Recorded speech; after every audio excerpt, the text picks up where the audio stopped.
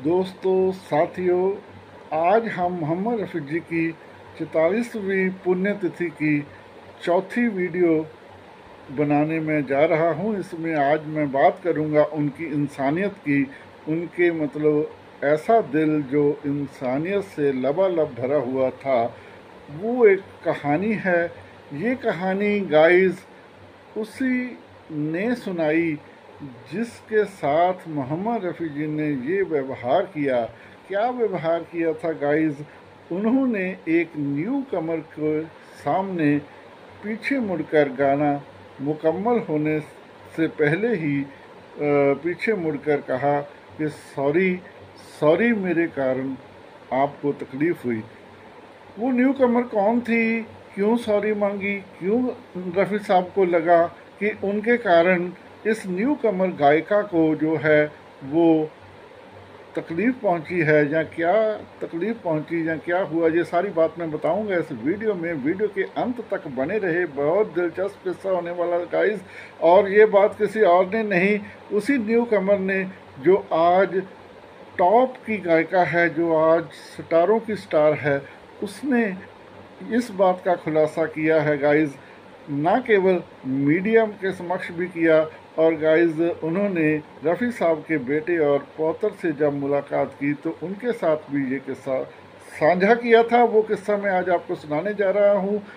सत नमस्कार आदाब। चढ़ी कला में हो चढ़ी कला में ही रहिए guys welcome to glo, global Bhopal channel मैं आपका हरविंदर सिंह भोपाल लेकर आया हूँ बॉलीवुड की यादें बॉलीवुड की अंदर की बातें। तो वीडियो करते हैं शुरू।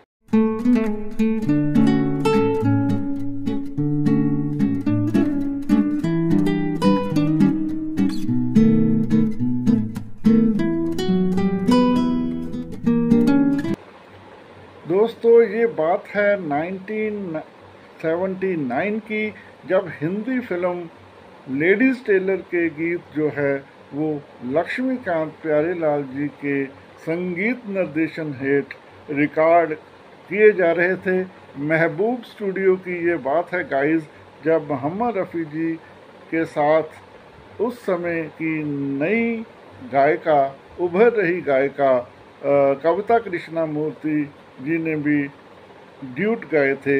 लेकिन ये गाना वो था जो मुकम्मल गाना मोहम्मद रफ़ी जी का था, लेकिन लास्ट में दो लाइनें जो हैं वो कविता कृष्णा मूर्ति जी ने गाई थी।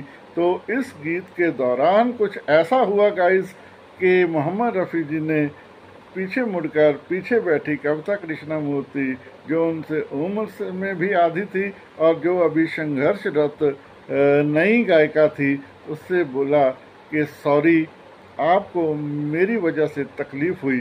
ये पूरी घटना जो है गाइस कविता कृष्णा मूर्ति जी ने सुनाई है। वह उनकी जुबानी ही ये बात सुनाऊँगा। उससे पहले मैं थोड़ा सा इंट्रोडक्शन करवा दूँ कि लेडीज़ टेलर फ़िल्म जो है, वो कौन सी थी? शायद आपके जहन में होगी। ये बड़ी हास्य वाली, हास्य रस वाली फ़िल्म थी।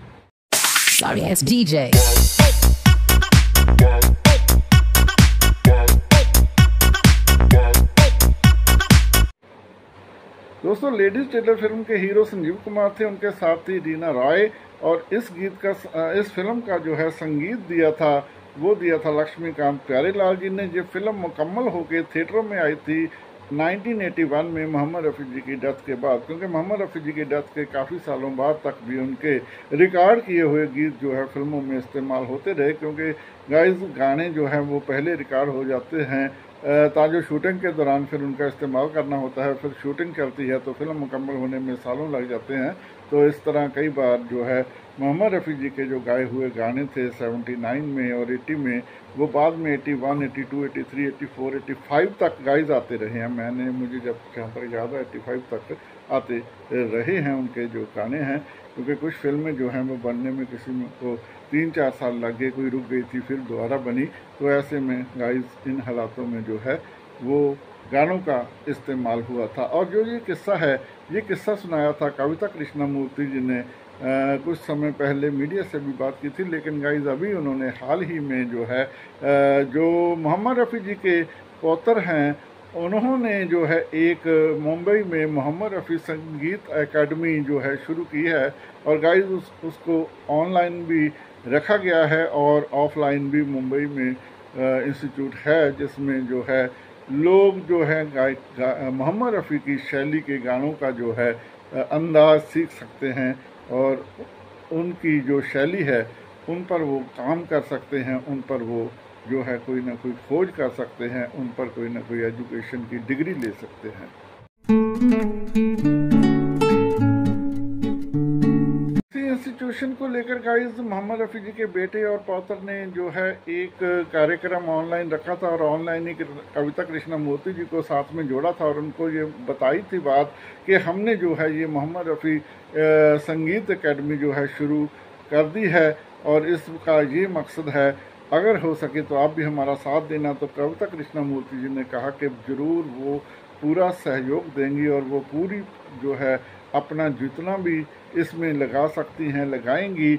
और उन्होंने एक जो है दोनों बाप बेटे को एक टिप भी दी। उन्होंने कहा कि अपने जो है सीखने वाले जो आ रहे हैं, युवा, युवियाँ, युवतियाँ, उनसे ये कहिए कि वो पहले जो है पेशेंस को ज़रूर अपनाएँ, क्योंकि इसमें पेशेंस की बहुत ज़रूरत है, रियाज की बहुत ज़रूरत है, घंटों रियाज की बहुत ज़रूरत है।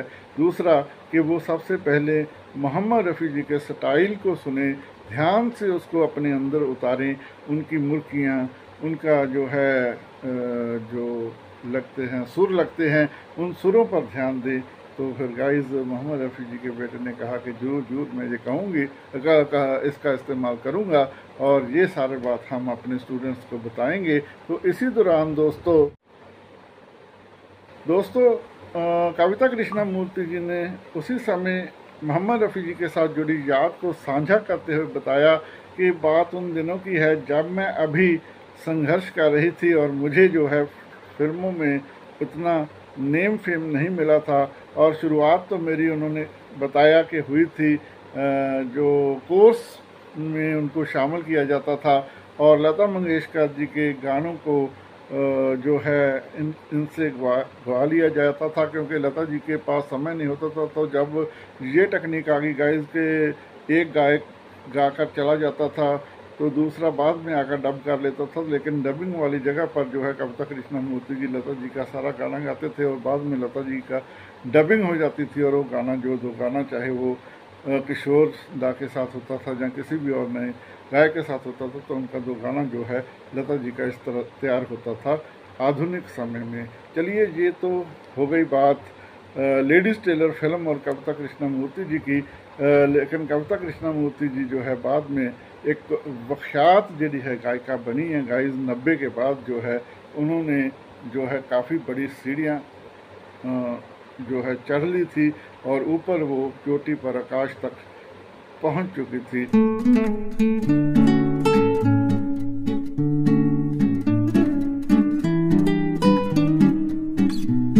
कृष्ण मूर्ति जी जो हैं, वो श्री देवी जी की आवाज़ बन गए थे और गाइज़ कुछ नब्बे के दशक की बहुत सारी गायिकाओं के लिए भी उन्होंने बहुत सारा प्लेबैक दिया था। चलिए, उन्होंने बात सुनाई कि इस गाने के दौरान गाइज़ उस समय बहुत ही टेक्निक नहीं होती थी तो वो बता रही हैं कि जब इस गाने की रिहर्सल होगी और रिकॉर्डिंग थिएटर में हम चले गए तो मोहम्मद रफ़ी जी तो माइक पर चले गए और मैं सोफे पर बैठ गई। उस समय मुझे थोड़ा सा डर भी लग रहा था, कहीं मेरे पर्स की आवाज़ या मेरे सांसों की आवाज़ जो ना आ जाए तो मैं बड़ी सहमी हुई सी, बैठी हुई थी।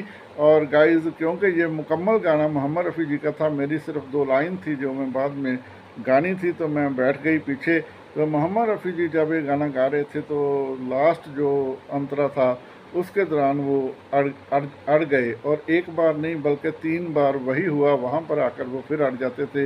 वहाँ पर आकर वो फिर अड़ जाते थे। तो बाद में गाइज़ जो है लक्ष्मीकांत प्यारे लाल जी अंदर आए। अंदर आकर उन्होंने मोहम्मद रफ़ी जी को बताया कि यहाँ से कैसे निकलना है। तो उसके बाद मोहम्मद रफ़ी जी ने वो गाना मुकम्मल किया और मैंने उठकर अपना जो है रिकॉर्डिंग करा दी दो लाइनों की। जब रिकॉर्डिंग ख़त्म हुई तो मोहम्मद रफ़ी जी ने कहा कविता आई एम सॉरी मेरे कारण तुम्हें देरी हुई। मुझे टाइम लग गया इस गीत को मुकम्मल करने में। तुम्हारा समय नष्ट हुआ तुम्हारा टाइम खराब हुआ इसके लिए मैं सॉरी कहता हूँ। तो कविता कृष्णमूर्ति जी कहते कि मैं तो शर्म से पानी पानी होगी और मैं झु, मैंने झुककर रफ़ी जी के पाँव छुए और उनसे कहा कि इसमें सॉरी की कोई बात नहीं है। रफ़ी साहब हम नए हैं हम तो बहुत सारी गलतियाँ करते हैं। आप तो लेजेंड हैं और आप वहीं पर ही थोड़ा सा अड़ गए थे, जहाँ पर कि बहुत ऊंचाई निचाई का जो एक कोई तालमेल था। खैर गाइज़ उन्होंने कहा कि रफ़ी साहब जो है, उन्होंने अगर तीन बार जब चौथी बार में रिकॉर्डिंग मुकम्मल की तो उनको लगा था कि मैंने कविता का टाइम वेस्ट किया है तो उन्होंने सॉरी कहा था, जिस पर मुझे शर्मिंदगी हुई और मैंने उनसे कहा कि हम आपसे सॉरी मांगते हैं। मैं तो आपको देखना चाहती हूँ, मैं तो आपको लाइव देखना चाहती हूँ, गाते हुए आप चार नहीं, चालीस बार रिटेक कीजिए, मैं तो सुनना चाहती हूँ।